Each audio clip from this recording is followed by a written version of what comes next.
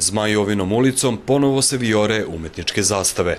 Novosađanima i posetiocima našeg grada predstavljeni su radovi učesnika Dunavskih dijaloga.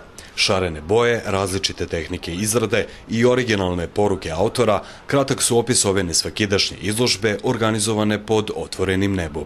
Gosti iz Hrvatske, Mađarske i Austrije ove godine napravili su 30 novih kreacija, a ostatak izloženih zastava je iz fonda galerije Belart i Centra za vizualnu umetnost Zlatno oko. Prosto oni reaguju na, na svoj način, na, na svakodnevnicu, na a, probleme svakodnevne zemalja u tranziciji, sve ono što, što čini naš život, a na koji umetnici svojim istočnim sensibilitetom reaguju na sobstveni način. Tehnike su raznovrsne i to je prepušteno umetnicima da sami izaberu, da se odluče, znači od printova, vezova, slikanja na zastavama, aplikacijama različitih drugih, aplikacija različitih drugih materijala, apsolutno ovaj, ostavljeno njima na izbor, a mogućnosti su neograničene. Izuzetno je važno što Novi Sad organizuje Dunavske dijaloge, rekao je predsednik gradske skupštine i dodao da ova reka povezuje deset zemalja i tako spaja ljude, kulture, tradicije i istoriju. Nadam se da će sve ovo što se dešava u okviru Dunavskih dijaloga u Novom Sadu